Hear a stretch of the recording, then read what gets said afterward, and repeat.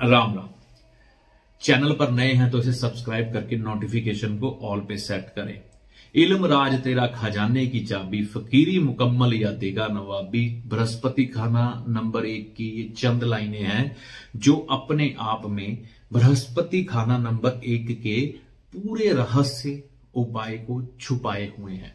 इल्म विद्या को एजुकेशन को बोला जाता है, ठीक है? राज राज दरबार, यानी कि गवर्नमेंट को बोला जाता है। ठीक है? अब यहाँ पर समझाने की यह कोशिश की गई है, विद्या सरकारी किसी कॉलेज से, कम से कम डिग्री होल्डर आप हो जाओ, यानी कि बीए की पढ़ाई तक, कम से कम बीए की पढ़ाई आप कर लो तो आपको सरकार से भी लाभ मिलेगा। जीवन में धन खजाना आपके जीवन में भरपूर होगा, और आप एक उच्च पद पर या पोजीशन पर भी पहुँचेंगे। अगर आप नहीं भी पढ़ पाते तो आपको ये चीज़ें तो नहीं मिलेगी। ना सरकारी लाभ मिलेंगे, ना सरकारी तौर पर आप उच्च पद पर पहुँच पाएँगे या जीवन में बड़ी पोजीशन ले पाएँगे। लेकिन फिर भी फकीर कमाल के होंगे। आशीर्वाद देने की ताकत आप में फिर भी बरकरार रहेगी। लेकिन फकीर एक खाना बदोश ज़िंदगी जीता है, जिसका परिवार किसी ना किसी तरीके से बस नहीं पाता। अगर हो तो बिखर जाता है।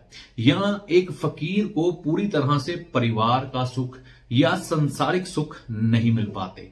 अगर तो आप संसारिक सुख लेने के इच्छुक हैं तो कम से कम बीए की पढ़ाई किसी सरकारी कॉलेज या सरकारी सहायता प्राप्त कॉलेज से ज़रूर लें। अगर कम पढ़े लिखे हैं तो उम्र का कोई भी मुकाम नहीं होता, ज्ञान को हासिल करने के लिए। तो आप किसी भी कॉलेज या शिक्षण संस्थान अगर सरकारी है तो ठीक है, नहीं तो वैसे ही विद्या ग्रहण करनी शुरू कर दें। या आपकी जो रुचि है, हॉबी है, उसके अनुसार शिक्षा ग्रहण करनी शुरू कर दे। कहने का मतलब ज्ञान बढ़ाना शुरू कर दे। ज्ञान क्या है? सूर्य।